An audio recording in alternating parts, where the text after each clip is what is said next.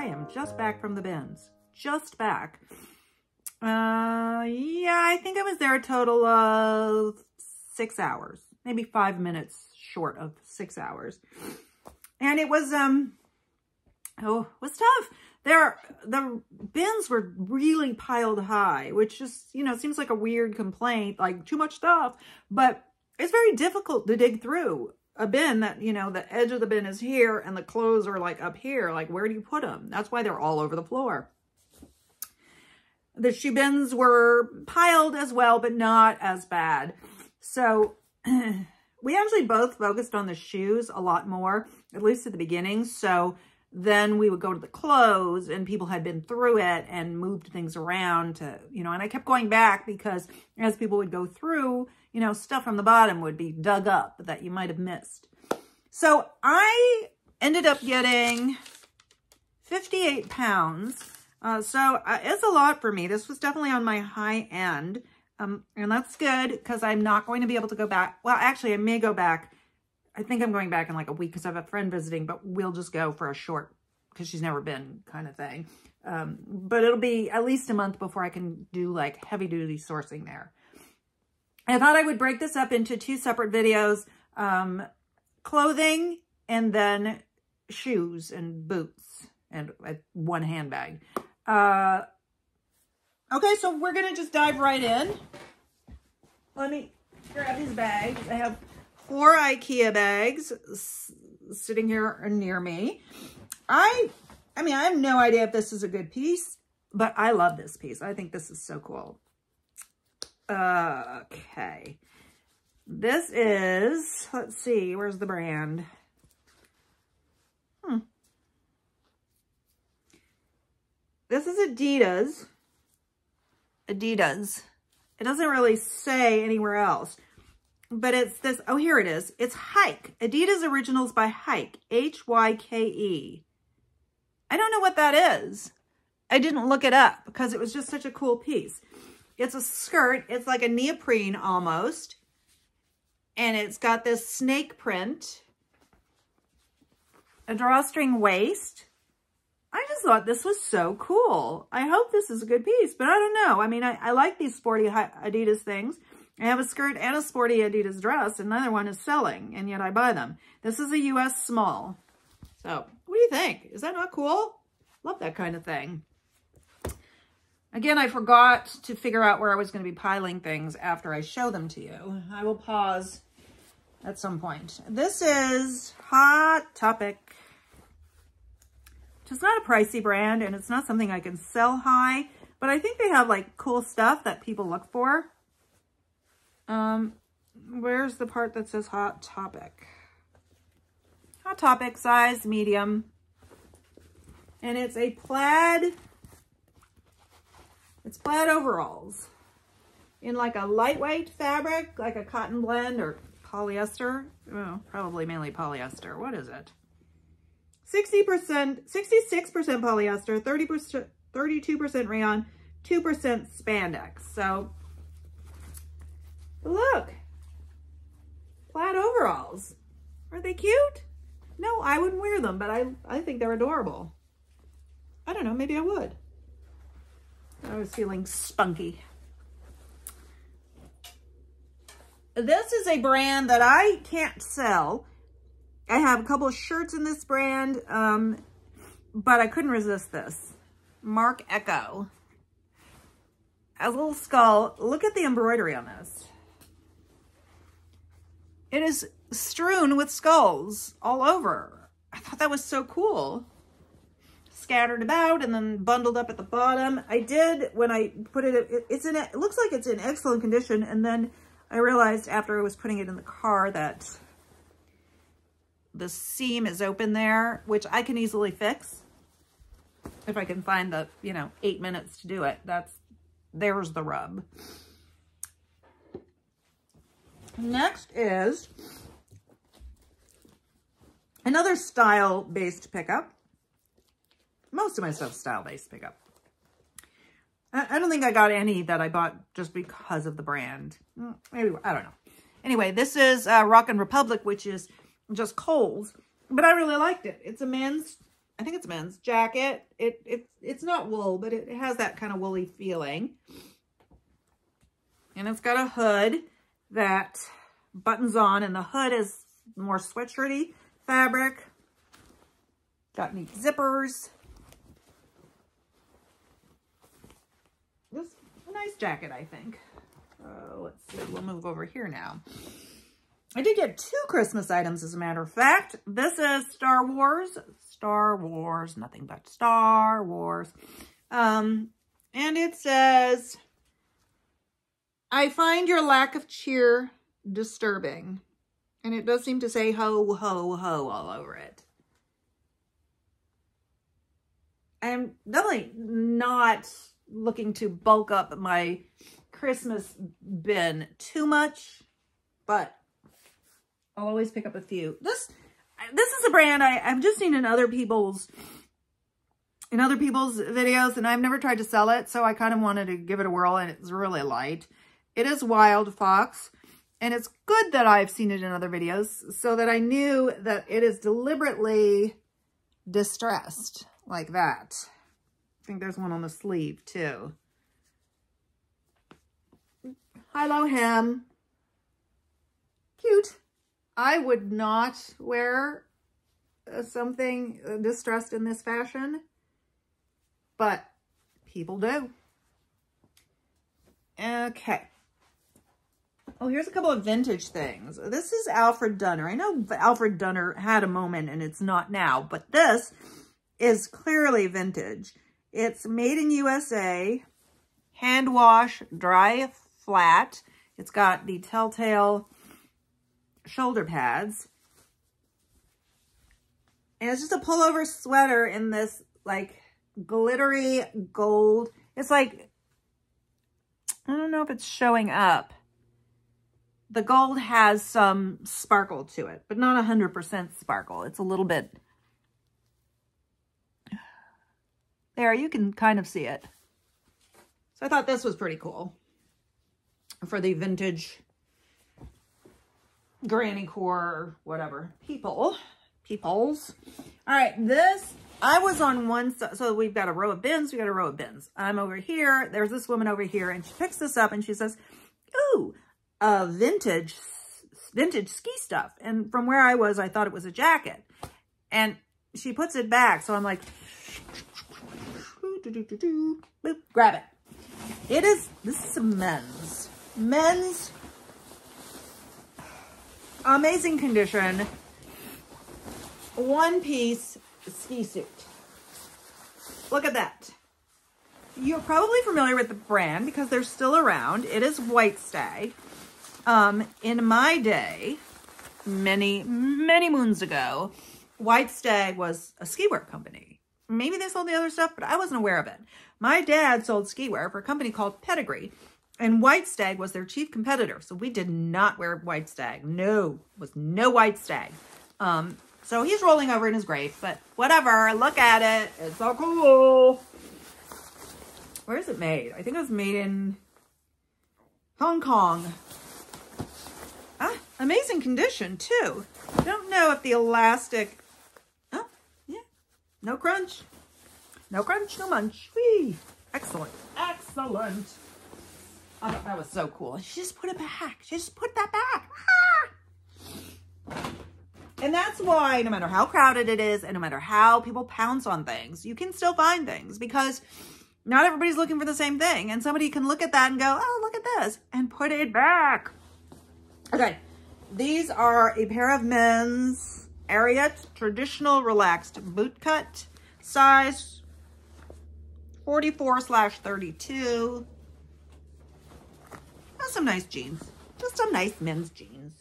This is not my only Ariat item in this. I think I have a pair of Ariat. No, I put those Ariat boots back. I picked up a pair of Ariat boots and put them back, which I know is weird but they weren't in great condition. They were very small.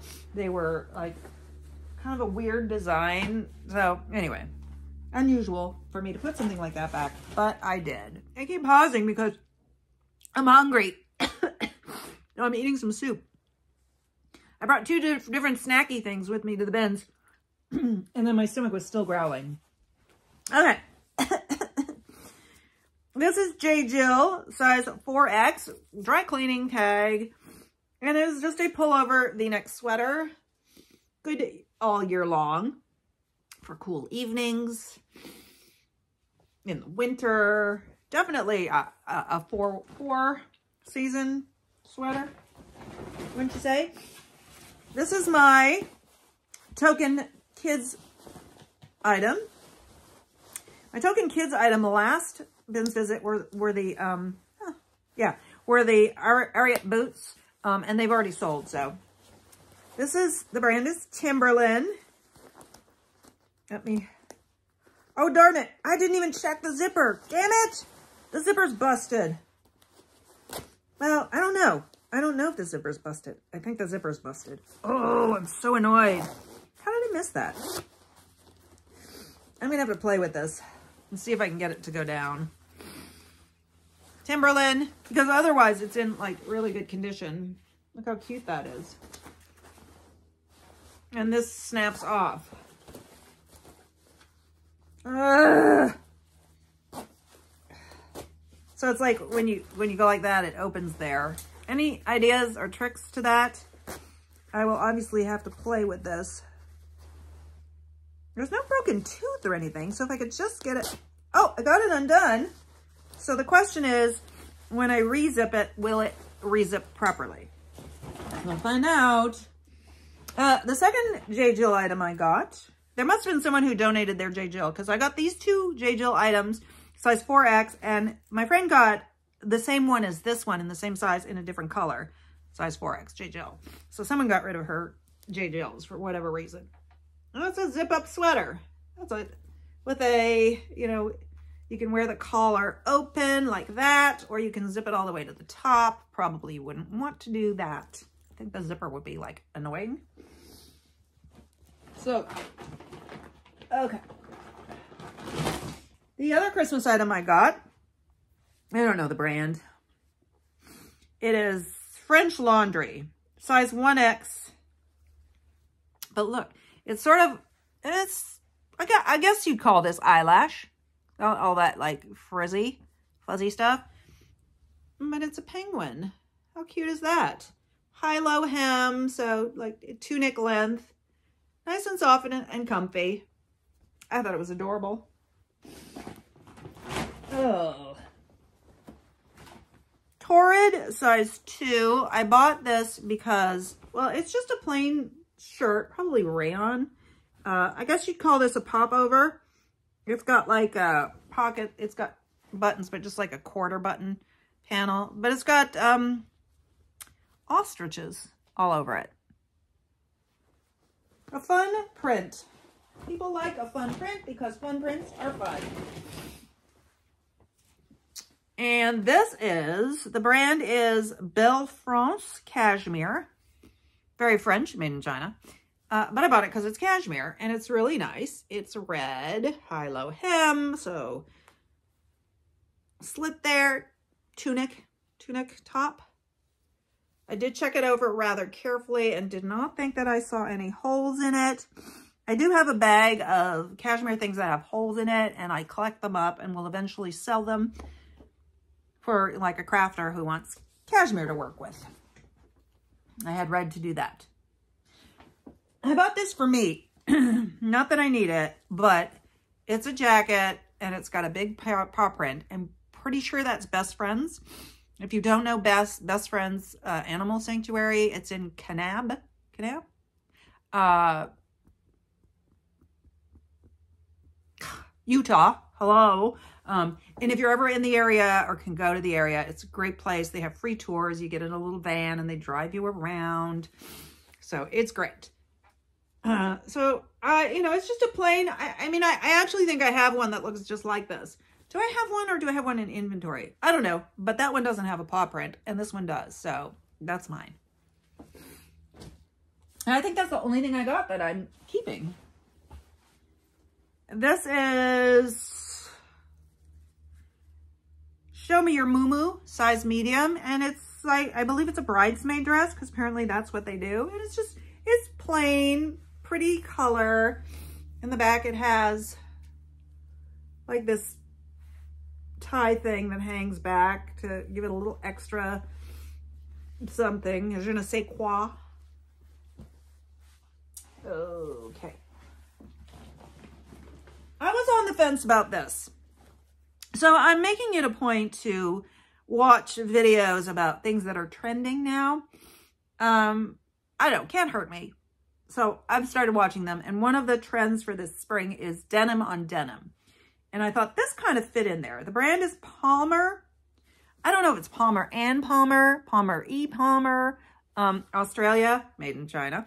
Uh, I could not find anything about it, but it's a shift dress. And it's got the, you know, the medium light wash, the super light wash, and then this is almost a, it's not quite white, so it's like a super, super light wash.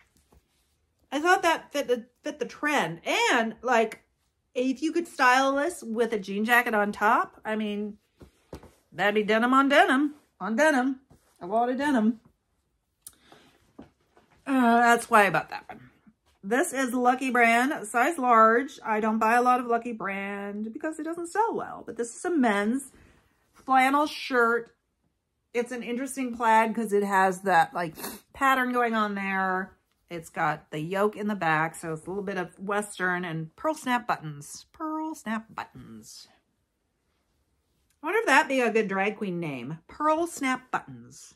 Snap hyphen buttons pearl hyphen snap, pearl snap hyphen buttons.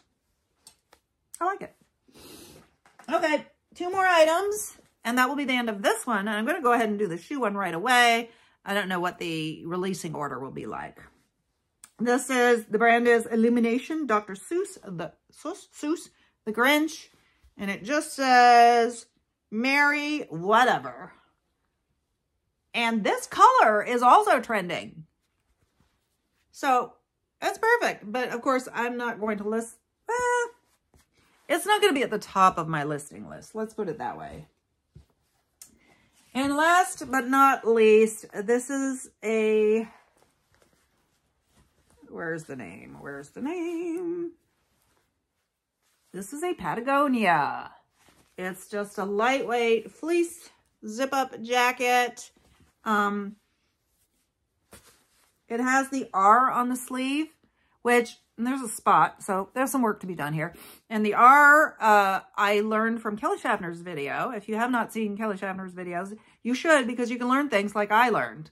If I remember, I'll actually link her channel, but everybody knows Kelly Schaffner, so I don't think I need to worry about that. But anyway, she had one of these and she said that initially she thought the R was like a company branded thing, but that it isn't. This is actually Patagonia, but I, I don't remember what it means. Uh, doesn't matter. I would have bought it anyway. This is a nice light, sort of mauvish blue, depending on the light. Size medium. Looks like it would fit me well. No, no. And that is it for the clothes. Uh, it actually started out that it was all shoes. And the first round of clothes, I only had like three or four items. I was like, I don't know if I'm going to get any shoes here. You really have to do the time there. If you go for an hour, hour and a half, you're not going to find much. Um, and we may find out about that because when my friend comes to town, if we go, we probably won't stay much longer than that.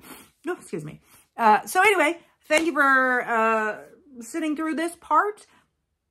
I hope you enjoyed it. I hope you'll, you'll give me a thumbs up and that you will also have or be watching the, the footwear portion.